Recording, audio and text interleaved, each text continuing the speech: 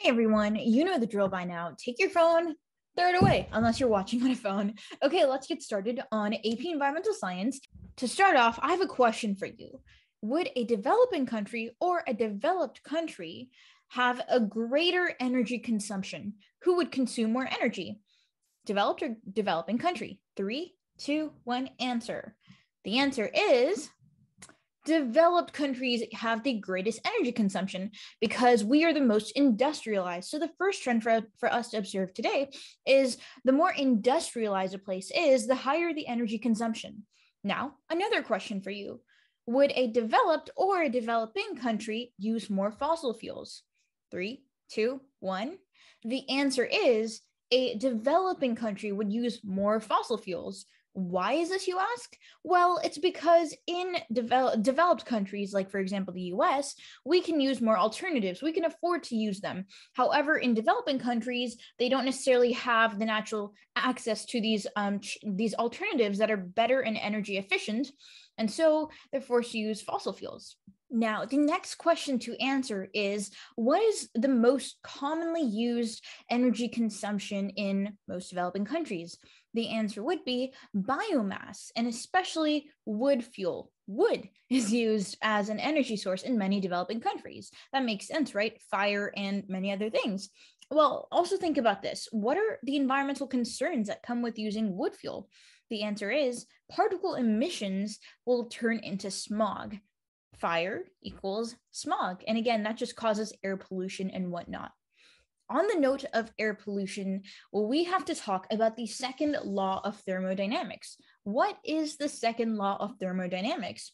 So, whenever energy changes its forms, it is released in some way. So, if I say apples were an energy, I took an apple and I converted it into an orange part of the uh, energy that was in the apple is no longer in the orange. And usually this energy is released as heat.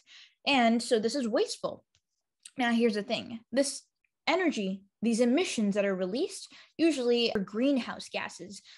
Why is this bad? The greenhouse gas effect? Well, when greenhouse gases like carbon dioxide, like methane, are released into the air, it traps heat in the atmosphere. Why is this bad? Well, you guessed it, it contributes to global warming and climate change. And so, at the end of the day, why is it bad that we have so many carbon emissions? The answer would be because it traps heat in the atmosphere and that leads to climate change or global warming. This concept called cogeneration. Cogeneration is very efficient. It is essentially a process where you have one energy source or fuel to produce two forms of energy. So, for example, you could produce high temperature heat and electricity, and you can use that heat for something else, and you can use the electricity to use as electricity. And so, cogeneration is really efficient. Why is that? Because you have one source that's being used for to create two different energy forms. Now, let's go ahead and talk about the difference, as you probably know, uh, between non renewable and renewable energy. What's the difference? Well, non renewable energy, as a fixed amount, at some point we'll run out of it. Renewable energy, we will never run out of it. That's the great thing. Now, here's the problem many fossil fuels, in addition to having environmental impacts, they are non renewable. And so, what are some examples of non renewable energy sources? Well, coal, oil, natural gas let's talk about coal, oil, and natural gas. So, first, let's look at a coal power plant. As you can see here, there is first a place where coal is transferred into a furnace. This furnace, sometimes known as a combustion tank, essentially heats this up and creates steam out of the coal. And then that steam, as you can see, goes into the steam turbine and that steam moves the turbine, which then feeds the generator electricity, and the generator can create electricity. That electricity is then moved off to power lines. Now, what happens to the steam? Well, the steam, the water vapor, is then moved through the condenser where it condenses back to water, which it was before. And then it moves to a cooling tower. where we attempt to cool down the hot water. Remember, in the furnace, we heated this water up, and so it's hot right now. But in the cooling tower, it's supposed to cool down. Here's the thing though cooling towers don't always fully do their job. Sometimes the water and the steam is still higher than the temperature originally was. This causes this thing called thermal pollution, where um, a pond or a lake could now have a hotter water temperature than it would have before. And that can actually cause problems with fish habitats and marine life and whatnot. And so this is what we call thermal pollution, heat pollution. Now let's look at an example of a nuclear power plant. If you look on the screen, you'll be able to see that in the middle, we have control rods and fuel rods. These essentially control the rate of fission and the power reactor that circle you see right there, that is called the core. And the core of a nuclear power plant, as you probably already know, is very, very radioactive. And so that is what causes problems whenever these malfunction. Water flows in and then out of the core. And then the steam once again moves the turbine. This motion of the turbine powers a generator on and gives it electricity, which then can be used for power lines. Once again, we see that there is a condenser cooling tank right here. It's the exact same thing as before. Once the steam has powered the turbine, the steam sinks to the bottom and then it moves back into the cooling tank where it is cooled. And then once again, that water goes back to the core, gets heated into steam, and we have the cycle that repeats. Now, before we continue, I need to ask you a very important question. What is combustion? Combustion is the burning of fossil fuels. Another question What are the side effects of combustion? What does it result in? Well, combustion creates CO2, which is carbon dioxide, H2O, which is water vapor, and heat. CO2 is produced, and that is once again how it creates air pollution. Lastly, let's talk about natural gas and fracking. So, in order to get natural gas or some other fossil fuels, there's this process we undergo called fracking. Fracking is the process of injecting liquid at a high pressure into rocks, and it forces the um, oil out of the rock. Now, here's the thing when we inject that high pressure, inject liquid, some of the chemicals are very toxic. And so, if these chemicals, there's a spill of some sort, the chemicals go into the groundwater, there's groundwater pollution, the ocean can be polluted. Oil spills cause dead zones in the water. There are all sorts of environmental um, hazards that fracking creates. Now, let's move on to a happier tone that is renewable energy. So, renewable energy. What are some examples? Well, there's solar, biomass, and geothermal energy. And there are a couple more. So, let's start by looking at a diagram of a hydroelectric dam power plant. At the beginning, we see that there is a water reservoir of some sort, probably a river or a lake.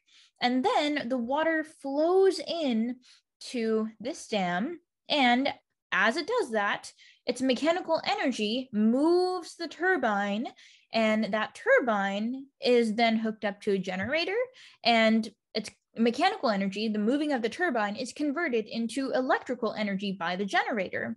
That is then put into a, a transformer, and again, we get power. We can actually get energy from that. And so in here, we see a transfer from mechanical energy to electrical energy. We see a transfer from potential energy when the water is still to kinetic energy when the water is moving to mechanical energy when it moves the turbine, and then electrical energy when the generator turns mechanical energy into electrical energy. With the hydroelectric dam power plant, here's the thing. Sometimes fishes are not going to be able to get through to the other side of the river because there's a dam in between. And so we create these things called fish ladders where fishes will be able to go under mechanism and fishes will be able to safely, hopefully, cross through the river. talk about run of the river hydroelectric power plants. So this happens with smaller rivers or lakes, while the hydroelectric dam is probably for large rivers and whatnot. And they could power small communities or things like that. So we start out with a river, and there are two forks in the path that the water can travel through. The first is through this thing called we call a turbine house. And so we start with kinetic energy, the motion of the moving river, and it flows into the turbine house and then that's turned into mechanical energy whenever the turbine is moved, which then with the generator is turned into electrical energy. Here's the great thing about hydroelectric dams and run of the river hydroelectric power plants. There is no air pollution or greenhouse gases. Now you need to know what active versus passive solar heating is. What is passive? Essentially, passive solar heating is whenever there's heating and cooling. And then active is when we actually collect solar radiation and convert that heat into water or air. And so active involves some sort of probably collecting radiation, and passive is simply heating and cooling naturally. Now let's talk about photovoltaic panels, also known as solar panels, also known as photovoltaic cells, also known as PV cells. So definitely know this. So silicon is the active element in most photovoltaic cells. And how do they work exactly? Here's the answer. So particles of light, so from the sun, they knock electrons free from the atoms and in that way generate electricity. Essentially, PV cells take the sunlight and generate that into electricity. A vocab word that's good to know here is on grid versus off grid solar panels.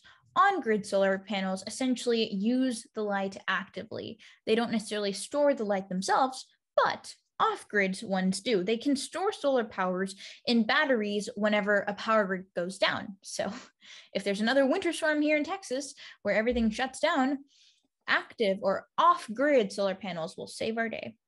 Now let's talk about wind power.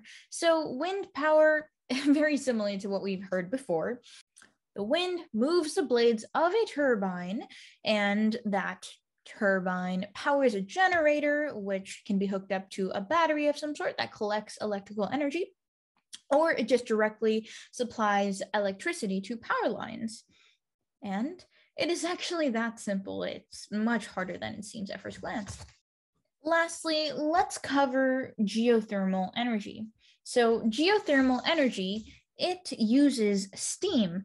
Steam rotates a turbine, activates a generator, and produces electricity.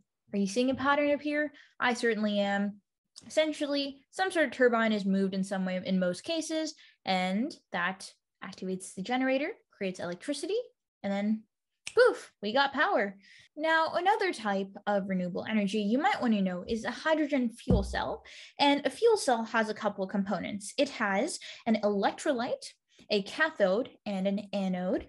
And it is very expensive to manufacture. So there aren't, it's not in high use right now. But if it is used, it has a very high efficiency and can help eliminate fossil fuel pollution. If we had lots and lots of money to spare and we bought a bunch of hydrogen fuel cells, that would make our systems very, very efficient and would decrease our use of fossil fuels. Unfortunately, the limitation right now is that it costs a lot of money. Now, at the very end, the last stretch, the final stretch, I have one more concept I want to cover with y'all. And those are three different events. All you have to know is Chernobyl, Three Mile Island, and thermal and Fukushima. So, if you know anything about any of these, you would know they all have something to do with a nuclear power plant. What happened? Well, at Chernobyl in Ukraine, a plant overheated, there was an explosion, there were fires, and unfortunately, many died in Three Mile Island, located in Pennsylvania, a lack of cooling when cooling systems were unplugged led to partial core meltdown, which is not good given that the core, if you remember, is radioactive. Yeah. Um, and lastly, Fukushima. Why is it significant? What happened? Four out of six reactors were destroyed. That caused a lot of radiation. Again, um, many people had the potential to die. These are some very dangerous situations. Now, the last thing I want to mention is that in many nuclear power plants, there is a very common element used, and that element is called uranium 235 and it's used with fission which can cause radiation and thermal pollution. All right y'all hope that was all right y'all hope that was helpful. Please please please comment down below if this was helpful. Also tell me did you like this newer style of study video? Because in the past we go by concept to concept to concept like 5.1 to 5.2 now we're like going all over the place, but hopefully in a structured way. I think it's just easier for us to retain information that way. Let me know if this was more helpful or less helpful than the previous uh, videos that we've had. Do you like this format better, where it's less about like 5.1 to 5.2, or do you like the other format better? Comment down below what you think, and also let me know if you do well on your test and if this was helpful because that motivates me to post the next video. And so have a wonderful day. You can get back to your phone unless you have more homework. And bye. Ramya's out.